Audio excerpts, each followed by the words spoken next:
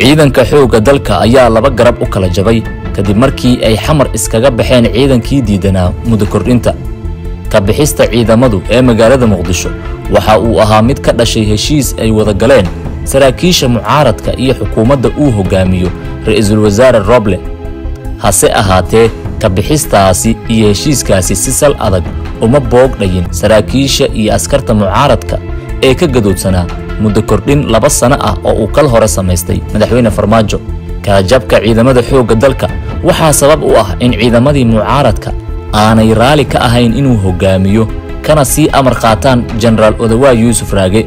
Arrintan waxay keentay in ciidankani ay ka amar qaataan jenaraal gacma duule.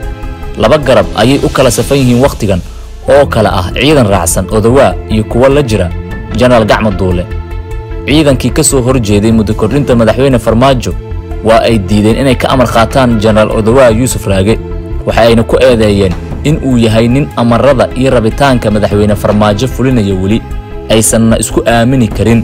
Labada jenaraal oo horayba uu cilaaqaadkooda u xumaa tan iyo markii ciidamada ka soo horjeeda farmaajo ay la wareegeen qaybo ka mida magaalada muqdisho waxaa hadda xiisadda u dhexaysa bisiinka ku sii shidaya in odawaa ay ka hor yimaadeen ciidankan oo horay u hoostegi jiray wuxuuna u arkaa in gacma duule xilkiisa uu ku haysto.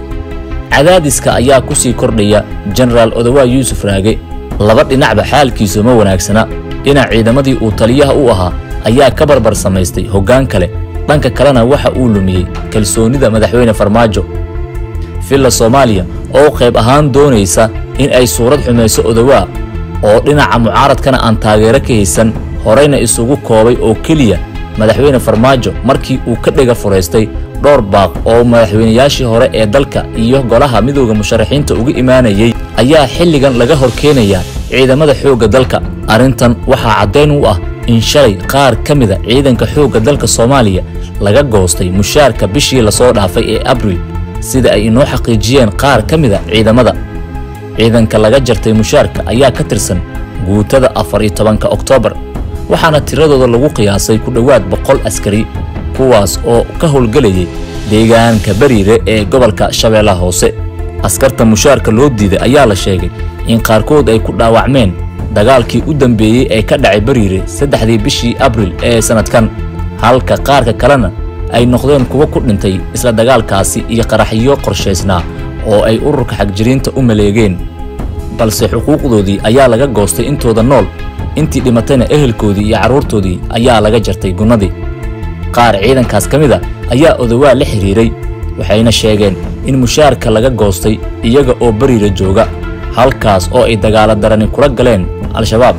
Aysanna mudnayn waxa ku dhacay.